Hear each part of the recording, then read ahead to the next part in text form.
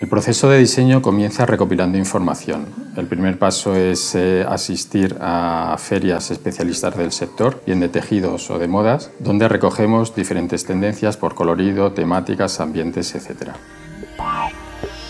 También realizamos shopping en las diferentes ciudades más importantes del mundo de la moda. El diseñador de moda es aquel que diseña la prenda. Selecciona un tejido, un acabado, un estilo, un fitting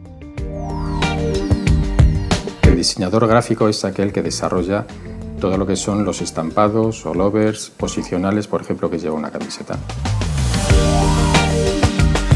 Con todas estas ideas de inspiración, nuestros diseñadores realizan un panel mood, que es donde materializan de alguna manera el colorido, el ambiente y las formas que vamos a utilizar como fuente de inspiración para desarrollar nuestra colección.